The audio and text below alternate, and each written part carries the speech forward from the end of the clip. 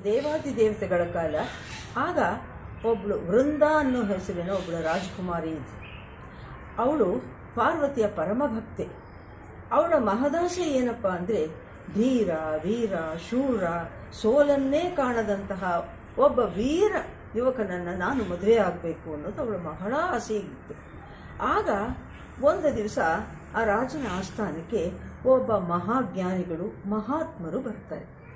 ಈ ವೃಂದೆಯನ್ನು ನೋಡಿ ಅವರು ತಮ್ಮ ದಿವ್ಯ ಜ್ಞಾನ ದೃಷ್ಟಿಯಿಂದ ತಿಳ್ಕೊಂಡು ಹೇಳ್ತಾರೆ. ನೀನು ಏನು ಆಸೆ ಪಟ್ಟಿದೆಯೋ ಅದು ನಡೆಯುತ್ತೆ. ಅಂತಹ ವೀರ ಧೀರ ಶೂರನಾದ ನಿನಗೆ ವರ ಸಿಕ್ಕಬೇಕು ಅನ್ನೋದಾದರೆ ನೀನು ಪಾರ್ವತಿ ದೇವಿಯ ಪೂಜೆಯನ್ನು ನಲವತ್ತೈದು ದಿವಸ ಮಾಡಬೇಕು. ಅದು ಸುಗಂಧಭರಿತವಾದ ಹೂವುಗಳಿಂದ, ಬಾ, ಬಹಳ ವಿಜೃಂಭಿಸುವ ತುಪ್ಪದ ದೀಪಗಳಿಂದ ದೇವಿಯನ್ನು ನೀನು ನಾ, ನಲವತ್ತೈದು ದಿವಸ ಪೂಜೆ ಮಾಡಬೇಕು. ಹಾಗೆ ಮಾಡುವಾಗ ಯಾವ ಅಡ್ಡಿಗಳೂ ಬರದಂತೆ ನೀನು ನೋಡ್ಕೋಬೇಕು. ಹಾಗಾದರೆ ನಿನ್ನ ಆಸೆ ನೆರವೇರುತ್ತೆ ಅಂತ ಹೇಳ್ತಾರೆ. ಹಾಗೆ ಇವಳಿಗೆ ಬಹಳ ಸಂತೋಷ ಆಗುತ್ತೆ. ಮೊದಲೇ ಪಾರ್ವತಿಯ ಭಕ್ತಳು. ಅವಳು ತುಂಬ ಸಂತೋಷದಿಂದ ಆ ವ್ರತವನ್ನು ಹೇಗೆ ಮಾಡಬೇಕು, ಎಷ್ಟು ದಿನ ಮಾಡಬೇಕು, ಹೇಗೆ ಯಾವ್ಯಾವ ರೀತಿಯಲ್ಲಿ ಮಾಡಬೇಕು ಅಂತ ಆ ಮಹಾತ್ಮರ ಹತ್ರ ಎಲ್ಲ ಕೇಳಿ ತಿಳ್ಕೊಂಡು ಪೂಜೆನ ಪ್ರಾರಂಭ ಮಾಡ್ತಾಳೆ. ಹೀಗೆ ಎಷ್ಟೋ ದಿವಸ ಕಳೆದಿರುತ್ತೆ. ಇನ್ನು ಕೆಲವೇ ದಿವಸಗಳು ಪೂಜೆ ಮುಕ್ತಾಯ ಹಂತಕ್ಕೆ ಬರಬೇಕು. ಅಷ್ಟರಲ್ಲಿ ಒಂದು ದಿವಸ ಒಬ್ಬಳ ಸೇವಕಿ ಇವಳು ಪೂಜೆ ಮಾಡ್ತಿದ್ದಾಗ ಓಡಿ ಓಡಿ ಬರ್ತಾಳೆ ರಾಜ್ಕುಮಾರಿ ರಾಜ್ಕುಮಾರಿ, ನಿನ್ನನ್ನ ಮದುವೆ ಆಗ್ಬೇಕು ಅಂತ ಅನೇಕ ದೇಶಗಳಿಂದ ರಾಜ್ಕುಮಾರರು ಸುದ್ದಿ ಕಳಿಸಿದ್ದಾರೆ ಅಂತ ಹೇಳ್ತಾಳೆ. ಆಗ ಕೇಳಿ ಇವಳ ಮನಸ್ಸು ಪಲ್ಲಟವಾಗ್ಬಿಡುತ್ತೆ. ಪೂಜೆ ನಷ್ಟಕ್ಕೆ ಬಿಟ್ಬಿಟ್ಟು ತಂದೆ ಹತ್ರ ಬಂದು ವಿಚಾರಿಸೋಣ ಅಂತ ಬಂದ್ಬಿಡ್ತಾಳೆ. ಆಮೇಲೆ ಇವಳಿಗೆ ಮನವರಿಕೆ ಆಗುತ್ತೆ. ಅಯ್ಯೋ, ನಾನು ನಾನೆಂಥ ತಪ್ಪಿನ ಕೆಲಸ ಮಾಡಿಬಿಟ್ಟೆ. ಪೂಜೆನ ಅರ್ಧಾಂತಕಕ್ಕೆ ಬಿಟ್ಬಿಟ್ನೆಲ್ಲ. ಆ ಮಹಾತ್ಮರು ಅಷ್ಟೇ ಹೇಳಿದ್ರು, ವಿಘ್ನ ಬರದ ಹಾಗೆ ನೋಡ್ಕೋ ಅಂತ. ಅಡ್ಡಿಯಾಗೋಯ್ತಲ್ಲ ಅಂತ ಓಡಿ ಬಂದು ದೇವಿ ಹತ್ರ ಕ್ಷಮಾಪಣೆ ಕೇಳ್ತಾಳೆ. ಅಮ್ಮ, ನಾನು ತಪ್ಪು ಮಾಡಿಬಿಟ್ಟೆ, ಕ್ಷಮಿಸ್ಬಿಡು ತಾಯಿ ಅಂತ. ಆಗ ಪಾರ್ವತಿ ದೇವಿ ಅಶ್ರೀರವಾಣಿಯಾಗಿ ಹೇಳ್ತಾಳೆ, ನೀನು ತಪ್ಪು ಮಾಡಿದೆ ನಿಜ. ಆದರೆ ನೀನು ಇಷ್ಟಪಟ್ಟಂಥ ವರ ಏನೋ ಸಿಗ್ತಾನೆ. ಪೂಜೆನ ನೀನು ಪೂರ್ಣ ಮಾಡದೆ, ಅರ್ಧಾಂತಕಗೊಳಿಸಿದ್ರಿಂದ ನಿನ್ನ ಪತಿಯೂ ಕೂಡವ, ಅರ್ಧ ಪೂರ್ಣ ಆಯಸ್ಸಾಗೋಕ್ ಮುಂಚೆನೆಯ ಅವನು ಯಹಲೋಕವನ್ನು ತ್ಯಜಿಸುವಂತ ಆಘಾತಕ್ಕೆ ಒಳಗಾಗ್ತಾನೆ ಅಂತ ಹೇಳ್ತಾರೆ. ಅಮ್ಮ, ಇದಕ್ಕೆ ಪರಿಹಾರ ಇಲ್ವಾ? ನಾನು ಯಾವತ್ತೂ ಸೌಭಾಗ್ಯವತಿಯಾಗಿ ಉಳಿಬೇಕು ಅಂತ ನನ್ನ ಆಸೆ. ಅಮ್ಮ, ಇದಕ್ಕೆ ಕರುಣೆ ಮಾಡು ಅಂತ ಕೇಳ್ತಾಳೆ. ಆಗ ಪಾರ್ವತಿ ಹೇಳ್ತಾಳೆ, ನೀನು ನಿನ್ನ ಪತಿವ್ರತಾ ಧರ್ಮವನ್ನು ಚೆನ್ನಾಗಿ ಕಾಪಾಡಿಕೊಂಡ್ರೆ ನೀನು ನಿನ್ನ ಪತಿಯನ್ನು ಯಾವತ್ತಿಗೂ ಚೆನ್ನಾಗಿ ಉಳಿಸ್ಕೋಬಹುದು. ಇದನ್ನೇ ನೀನು ಗಮನದಲ್ಲಿಟ್ಕೋ. ಅವನು ಇನ್ನೂ ಧೀರ, ಶೂರನಾಗಿ ಬದುಕ್ತಾನೆ ಅಂತ ಹೇಳ್ತಾನೆ. ಸರಿ ಅಂದ್ಬಿಟ್ಟು ಅವಳು ಅವತ್ತಿನಿಂದ ಬಹಳ ಸಂತೋಷವಾಗಿ ಪತಿವ್ರತ ಧರ್ಮಕ್ಕೆ ಏನೇನು ನಿಯಮಗಳು, ನೀತಿಗಳು ಎಲ್ಲ ತಿಳ್ಕೊತಾಳೆ. ಹಾಗೆ ಮುಂದೆ ಒಂದು ದಿವಸ ಅವಳಿಗೆ ವಿವಾಹವಾಗುತ್ತೆ. ಅವನು ಹೆಸರು ಜರಾಸಂಧ ಅಂತ. ಅವನೊಬ್ಬ ರಕ್ಕಸ ಗಣಕ್ಕೆ ಸೇರಿದವನು ರಾಕ್ಷಸ ಕುಲಕ್ಕೆ ಸೇರಿದವನು ಬಹಳ ವೀರ ಶೀರ ಧೂರ ಬಹಳ ಚೆನ್ನಾಗಿರ್ತಾನೆ, ಮದುವೆಯಾಗುತ್ತೆ. ಮದುವೆಯಾಗುತ್ತಲೇ ಇವಳ ಪಾತಿವ್ರತ್ಯದ ಧರ್ಮದಿಂದ ಅವನು ಇನ್ನೂ ಬಲಶಾಲಿ ಆಗ್ತಾನೆ ದಿನ ಕಳೀತಾ ಕಳೀತಾ ಅವನಿಗೆ ಎಲ್ಲ ಲೋಕಗಳನ್ನು ತಾನೇ ಅಳವಡಿಸ್ಕೋಬೇಕು, ತನ್ನ ಕೈಲಿರಬೇಕು ಅನ್ನೋ ಆಸೆ ಬಂದ್ಬಿಡುತ್ತೆ ಮಾದಾಸೆ. ಆಗ ಅವನು ದೇವಲೋಕಕ್ಕೂ ಲಗ್ಗೆ ಇಡಬೇಕು ಅಂತ ಬರ್ತಾನೆ. ಆಗ ದೇವಾದಿ ದೇವತೆಗಳೆಲ್ಲ ಹೆದರು ಬಿಡ್ತಾರೆ ಏನು ಮಾಡೋದು ಅಂತ? ಅವನವಾಗಲ್ಲಿ ಇಂದ್ರಲೋಕಕ್ಕೆ ಹೊರಟಿದ್ದಾನೆ ಯುದ್ಧಕ್ಕೆ. ಆಗ ಇವರೆಲ್ಲ ಸಭೆ ಸೇರಿ ಕೇಳ್ತಾರೆ, ಅಯ್ಯೋ ಹೊರಟು ಬಿಟ್ಟಿದ್ದಾನೆ ಜರಾಸಂಧ. ಇನ್ನು ನಮ್ಮ ಗತಿ ಏನು? ಅಂತ ಮೂರು ತ್ರಿಮೂರ್ತಿಗಳನ್ನೆಲ್ಲ ಸೇರಿಸ್ಕೊಂಡು ದೇವಾದಿ ದೇವತೆಗಳೆಲ್ಲ ಚರ್ಚೆ ಮಾಡ್ತಾರೆ. ಆಗ ಹೇಳ್ತಾಳೆ ಪಾರ್ವತಿ, ಯಾರಿಂದಲೂ ಏನೂ ಸಾಧ್ಯ ಇಲ್ಲ ಜರಾಸಂಧನನ್ನು ಸೋಲ್ಸೋದಿಕ್ಕೆ. ಅಂತ. ಯಾಕಮ್ಮ? ಅಂತ ಕೇಳಿ ಯಾಕೆ ಅಂದರೆ ಅವಳ ಹೆಂಡತಿ ವೃಂದ ಮಹಾಪತಿವ್ರತೆ. ಅವಳ ಪಾತಿವ್ರತ್ಯದ ಧರ್ಮ ಅಷ್ಟು ಪ್ರಬಲವಾಗಿದೆ, ಅಷ್ಟು ಶಕ್ತಿ ಕೊಟ್ಟಿದೆ ಅವನಿಗೆ. ಆದ್ದರಿಂದ ಅವನನ್ನು ಸೋಲಿಸೋದಕ್ಕೆ ಯಾರಿಂದಲೂ ಸಾಧ್ಯವಿಲ್ಲ ಅಂತಾಳೆ. ಹಾಗಾದರೆ ಇದಕ್ಕೆ ಉಪಾಯವೇ ಇಲ್ವಾ? ನಮಗೆಲ್ಲ ಗತಿ ಏನು ಅಂತ ಕೇಳ್ತಾನೆ ಇಂದ್ರ. ಆಗ ಅವಳೇ ಹೇಳ್ತಾಳೆ, ಇದಕ್ಕೆ ಉಪಾಯ ಅಂದರೆ, ನಾವು ಸ್ವಲ್ಪ ಮೋಸದ ದಾರಿಯಲ್ಲಿ ಹೋಗಬೇಕು. ಅವಳನ್ನ ಪಾತಿವ್ರತ್ಯ ಧರ್ಮವನ್ನು ಭಂಗ ಮಾಡಬೇಕು. ಅದು ಬಿಟ್ಟರೆ ಇನ್ನೇನೋ ಕಾರಣವೇ ಇಲ್ಲ ಅಂತ ಹೇಳಿ. ಆಗ ಅಯ್ಯಯ್ಯೋ, ಇದಕ್ಕೇನಪ್ಪ ಮಾಡೋದು ಅಂತ ಎಲ್ಲ ಹೆದರ್ತಾರೆ. ಹೇಗೆ ಮಾಡೋದು? ನಾವು ಇಂಥ ಕೆಲಸಕ್ಕೆ ಹೋಗಲ್ಲ ಅಂತ. ಆಗ ಇಂದ್ರ ಹೇಳ್ತಾನೆ, ನಾರಾಯಣ, ಇದಕ್ಕೆಲ್ಲ ನೀನೇ ಸರಿ ಕಣಪ್ಪ, ಏನಾದರೂ ಒಂದು ಉಪಾಯ ಹುಡುಕು ಅಂತ. ಆಗ ನಾರಾಯಣ ಹೇಳ್ತಾನೆ, ನೀವೇನು ಯೋಚನೆ ಮಾಡಬೇಡಿ. ಅವನಿಗೆ ಇಂದ್ರಲೋಕಕ್ಕೆ ಹೊರಟಿದ್ದಾನೆ ತಾನೇ, ನಾನು ಅಲ್ಲಿ ಸರಿ ಮಾಡ್ತೀನಿ ಅಂತ ಅಲ್ಲಿಂದ ಬರ್ತಾನೆ ನಾರಾಯಣ. ಒಂದು ಮಾರುವೇಷದಲ್ಲಿ ಬಂದು ತಾನು ಜರಾಸಂದನ, ರುಂಡ ಮುಂಡದಂತೆ ಎರಡು ಬೇರೆ ಬೇರೆಯಾದ ದೇಹಗಳನ್ನು ಮಾಡಿ, ರುಂಡ ಒಂದು ಕಡೆ ಮುಂಡ ಒಂದು ಕಡೆ ಮಾಡಿ, ಅದನ್ನು ಎರಡು ಮಂಗಗಳ ಕೈಲಿ ಕೊಟ್ಟು ಕಳಿಸ್ತಾನೆ ಇದನ್ನು ತಗೊಂಡು ಹೋಗಿ ವೃಂದೆಯ ಮುಂದಿಡಿ ಅಂತ. ಎರಡು ಮಂಗಗಳು ತಂದು ಆ ವೃಂದೆಯ ಮುಂದೆ ಇಡುತ್ತೆ. ವೃಂದ ನೋಡ್ತಾಳೆ ಗಾಬರಿ ಆಗ್ಬಿಡ್ತಾಳೆ ಅಯ್ಯಯ್ಯೋ, ನನ್ನ ಪತಿ ಮರಣವನ್ನಪ್ಪದ. ಇನ್ನು ನನ್ನ ಸೌಭಾಗ್ಯ ಹಾಳಾಗೋಯ್ತು ಅಂತ ಅಳೋದಕ್ಕೆ ಶುರು ಮಾಡ್ತಾಳೆ. ಅವಳಿಗೆ ಆ ಕ್ಷಣದಲ್ಲಿ ತನ್ನ ಪಾತವೃತ್ಯ ಧರ್ಮ ಕೆಟ್ಟಿಲ್ಲ. ಹೇಗೆ ನಾವು ಸಾಯೋದಕ್ಕೆ ಸಾಯ ಕಾರಣ ಇದೆ ಅಂತ ಅನ್ನೋದು ಯೋಚನೆಯೇ ಬರೋದಿಲ್ಲ.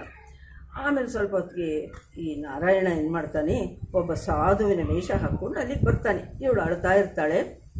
ಆ ರುಂಡ ಮುಂಡಗಳ ಮುಂದೆ ಅವಾಗ ನಾರಾಯಣ ಬಂದು, ಅಮ್ಮ, ವೃಂದ ನೀನು ಅಳಬೇಡ. ನಿನ್ನ ಗಂಡನನ್ನು ನಾನು ಬದುಕಿಸ್ಕೊಡ್ತೀನಿ ಅಂತ ಹೇಳ್ತಾನೆ.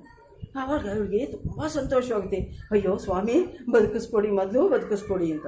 ಸರಿ, ಇವನು ತನ್ನ ದೈವಿಕ ಶಕ್ತಿಯಿಂದ ಅವೆರಡನ್ನು ಒಂದು ಮಾಡಿ ತನ್ನ ಜೀವವನ್ನು ಅದಕ್ಕೆ ಬಿಡ್ತಾನೆ. ಸರಿ, ಇವನು ಎದ್ದು ನಿಂತ್ಕೋತಾನೋ ಇಲ್ವೋ, ಇವಳು ಗಂಡ ಬದುಕಬಿಟ್ಟ ಅನ್ನೋ ಖುಷಿನಲ್ಲಿ ಓಡ್ ಹೋಗಿ ತಬ್ಕೊಂಬಿಡ್ತಾಳೆ. ಆಮೇಲೆ ನೋಡ್ತಾಳೆ, ಅವನು ನಾರಾಯಣ. ಅಯ್ಯಯ್ಯೋ, ನಾನು ಎಂಥ ಮೋಸ ಹೋದೆ ಅಂದ್ಬಿಟ್ಟು ನಾರಾಯಣಂಗೆ ಶಾಪ ಕೊಡ್ತಾಳೆ. ಥೂ ನಿನ್ನ, ನೀ ನನಗಿಂಥ ವಂಚನೆ ಮಾಡಿದ್ಯಾ? ನೀನು ಮುಂದೆ ಒಂದು ಅವತಾರದಲ್ಲಿ ನಿನ್ನ ಪತ್ನಿಯಿಂದ ದೂರವಾಗಿ ಇದೇ ಮಂಗಗಳ ಸಹಾಯವನ್ನ ಬೇಡುವಂತಾಗ್ಲಿ ನಿನಗೆ ಅಂತ ಶಾಪ ಕೊಡ್ತಾಳೆ. ಆಮೇಲೆ ಅಲ್ಲಿ ಪಾರ್ವತಿಯನ್ನ ಕೇಳ್ಕೊತಾಳೆ, ಅಮ್ಮ, ನಾನು ಏನು ತಪ್ಪು ಮಾಡಿದೆ ಅಂತ, ಇಂಥ ಶಿಕ್ಷೆ ಕೊಟ್ಟೆ ನನಗೆ ನನ್ನ ಯಾಕೆ ಇಂಥ ಮೋಸ ಮಾಡಿಸ್ದೆ? ಅಂತ ಹೇಳ್ತಾಳೆ. ಆಗ ಅಂದ್ರ ಇವನು ನಾರಾಯಣನು ಹೇಳ್ತಾನೆ ಪಾರ್ವತಿಯು ಹೇಳ್ತಾಳೆ, ಅಮ್ಮ, ಇದು ಲೋಕ ಕಲ್ಯಾಣಕ್ಕೋಸ್ಕರ ಆಗಲೇಬೇಕಾದ್ದು. ಜರಾಸಂದನನ್ನು ಸೋಲಿಸೋದಕ್ಕೆ ಕಾ, ಯಾರಿಂದೂ ಶಕ್ತಿ ಇಲ್ಲಮ್ಮ. ಇದೊಂದು ಉಪಾಯ ಬಿಟ್ಟರೆ ಬೇರೆ ಇರಲಿಲ್ಲ ತಾಯಿ. ಆದರೆ ನಿನ್ನ ಪಾತಿವ್ರತ್ಯ ಖಂಡಿತ ಹರಣವಾಗಿಲ್ಲ. ನೀನು ಮಹಾಪತಿವ್ರತೆ. ನಿನ್ನಲ್ಲಿ ಅಂಥ ಅದ್ಭುತ ಶಕ್ತಿ ಇದೆ. ಅದಕ್ಕೆ ನಾನು ವರ ಕೊಡ್ತೀನಿ ಅಂತ ಹೇಳಿ ಪಾರ್ವತಿ ಹೇಳ್ತಾಳೆ. ನಿನ್ನನ್ನು ಒಂದು ಸಸ್ಯ ರೂಪದಲ್ಲಿ ಪರಿವರ್ತನೆ ಮಾಡ್ತೀನಿ. ನೀನು ಒಂದು ಪೂಜೆಗಾಗಿ, ನೈವೇದ್ಯಕ್ಕಾಗಲಿ ತೀರ್ಥಕ್ಕಾಗಲಿ ನಿನ್ನಷ್ಟು ಪತಿವ್ರತೆ ಇನ್ಯಾರೂ ಇಲ್ಲ, ಅಷ್ಟು ಪವಿತ್ರವಾಗ್ತೀಯ ನೀನು. ನಿನ್ನ ತೀರ್ಥನ ಒಂದು ಒಂದು ಉದ್ಧರಣೆ ತೀರ್ಥ ಕುಡಿದ್ರೆ ಗಂಗಾ ಸ್ನಾನ ಮಾಡಿದಷ್ಟು ಪುಣ್ಯ ಬರುತ್ತೆ ನೀನು ಅವ್ರಿಗೆ. ಹಾಗೂ ಅವರ ಪಾತಿವ್ರತ್ಯ ಧರ್ಮವನ್ನು, ಪಾತಿವ್ರತ್ಯ ತನವನ್ನು ಹಾಗೂ ಅವರ ಸೌಭಾಗ್ಯವನ್ನು ನೀನು ಕಾಪಾಡ್ತೀಯ ಅಂತ ಹೇಳಿ ಅವಳಿಗೆ ವರ ಕೊಡ್ತಾಳೆ. ಅವತ್ತಿನಿಂದ ಅವಳು ಸಸ್ಯವಾಗಿ, ಒಂದು ತುಳಸಿಯ ವೃಕ್ಷವಾಗಿ ಪರಿವರ್ತನೆ ಆಗ್ತಾಳೆ. ಆ ಸಸ್ಯವನ್ನು ಪರಿ ಕಾಪಾಡೋದಕ್ಕೋಸ್ಕರ ಪಾರ್ವತಿ ಏನು ಮಾಡ್ತಾಳೆ? ನೆಲ್ಲಿಕಾಯಿ, ಜಾಜಿ ಗಿಡ ಇವುಗಳನ್ನೆಲ್ಲ ಅವುಗಳ ಮೇಲೆ ಹಬ್ಬಿಸ್ತಾಳೆ. ಇದನ್ನೇ ಅಲ್ಲಿ ಇಲ್ಲಿ ಇವಳ ಪಾತಿವ್ರತ್ಯ ಭಂಗ ಆದ ತಕ್ಷಣ ಅಲ್ಲಿ ಜರಾಸಂದ ಸತ್ತು ಹೋಗಿರ್ತಾಳೆ. ಆಗ ಇವಳು ಇವಳು ಸಸ್ಯವಾಗಿ ಪರಿವರ್ತನೆ ಆಗುತ್ತೋ, ಈ ನೆಲ್ಲಿಕಾಯಿ, ಜಾಜಿ ಏನು ಪಾರ್ವತಿ ದೇವಿ ಹಬ್ಸಿದ್ರು, ಅದನ್ನು ನಾವೇನು ಮಾಡ್ತೀವಿ? ಹೀಗೆ ನೆಲ್ಲಿಕಾಯಿ ನೆಟ್ಟು ತುಳಸಿ ಮುಂದೆ ಅದೇ ನಾರಾಯಣ ಅಂತ ತಿಳ್ಕೊತೀವಿ. ಆಮೇಲೆ ಇನ್ನೂ ಒಂದು ಹೇಳ್ತಾಳೆ ಪಾರ್ವತಿ ಅವಳಿಗೆ, ನೀನು ಮುಂದೆ ರುಕ್ಮಿಣಿಯಾಗಿ ಹುಟ್ಟುತ್ತೀಯ ಇದೇ ನಾರಾಯಣ ಕೃಷ್ಣಾವತಾರಕ್ಕೆ ಬರ್ತಾನೆ. ಆಗ ನಿನ್ನನ್ನೇ ಅವನು ಮರೆಸ್ತಾನೆ. ನೀವಿಬ್ರು ಮುಂದೆ ವಿವಾಹವಾಗ್ತೀರಾ? ಅನ್ಯೋನ್ಯವಾಗಿ ಬದುಕ್ತೀರಾ? ನೀ ಮಹಾಪತಿವರ್ತಿ ಅನ್ನಿಸ್ಕೊತೀಯ ಇನ್ನೊಮ್ಮೆ? ಅಂತ ಹೇಳ್ತಾರೆ ಆ ಕೃಷ್ಣ ರುಕ್ಮಿಣಿ ಒಂದಾದ ದಿವಸವೇಯ ಈ ಕಾರ್ತೀಕ ಶುದ್ಧ ದ್ವಾದಶಿ. ಆದ್ದರಿಂದ ನಾವೇನು ಮಾಡ್ತೀವಿ ಇಲ್ಲಿ ತುಳಸಿನೂ ಬಂತು, ಇಲ್ಲಿ ನಾರಾಯಣನ ರೂಪ ಅಂತ ಹೇಳಿ ನಾವು ಏನು ಪಾರ್ವತಿ ನೆಲ್ಲಿಕಾಯಿನ ಹಬ್ಬಿಸಿದ್ಲು ಆ ನೆಲ್ಲಿಕಾಯಿನ ನಾವು ಇಲ್ಲಿಟ್ಟು ಅವಳ ಜೊತೆ ವಿವಾಹ ಮಾಡಿ ನಾವು ಪೂಜೆ ಮಾಡ್ತೀವಿ. ಇದರಿಂದ ಮಹಿಳೆಯರ ಸೌಭಾಗ್ಯವೂ ವೃದ್ಧಿಯಾಗುತ್ತೆ. ಹಾಗೂ ಅವರ ಮನೆಯ ಗಂಡಸರ ಎಲ್ಲ ಶ್ರೇಯಸ್ಸು ಅಭಿವೃದ್ಧಿಯಾಗುತ್ತೆ ಮತ್ತು ದುಷ್ಟರ ನಿವಾರಣೆಯಾಗುತ್ತೆ. ಇಂತಹ ಮಹಾವ್ರತವನ್ನು ನಾವು ಎಲ್ಲರೂ ಪೂಜೆ ಮಾಡೋದ್ರಿಂದ ಲೋಕಕ್ಕೆ ಕಲ್ಯಾಣವಾಗುತ್ತೆ ಅಂತ ಹೇಳಬಹುದು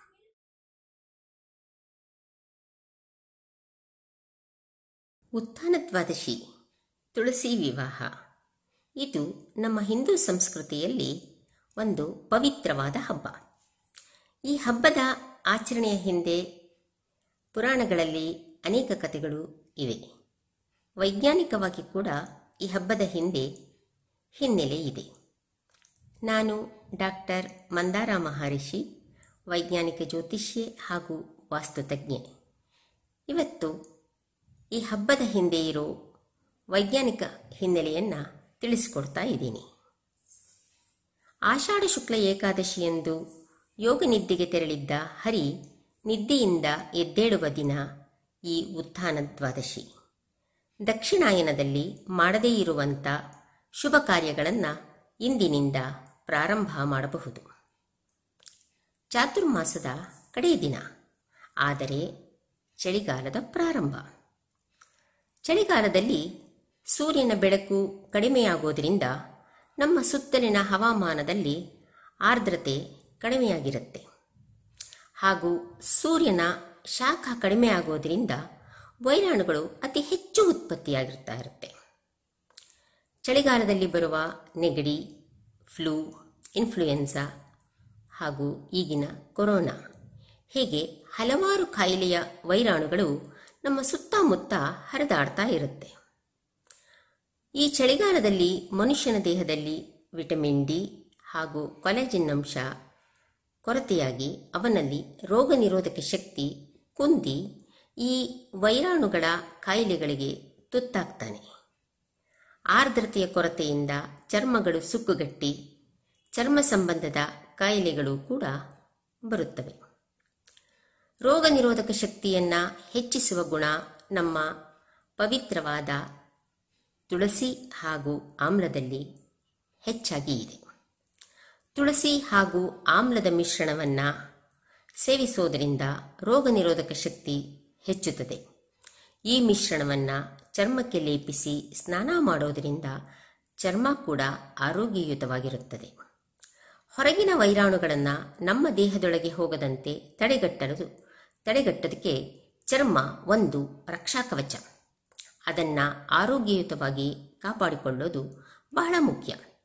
ಹೀಗೆ ರೋಗ ನಿರೋಧಕ ಶಕ್ತಿಯನ್ನು ಹೆಚ್ಚಿಸಿಕೊಂಡು ಆರೋಗ್ಯವನ್ನು ಕಾಪಾಡಿಕೊಳ್ಳೋದಕ್ಕಾಗಿ ತುಳಸಿ ಹಾಗೂ ಆಮ್ಲಕ್ಕೆ ಚಳಿಗಾಲದಲ್ಲಿ ಬಹಳ ಮಹತ್ವವನ್ನು ಕೊಡಲಾಗಿದೆ.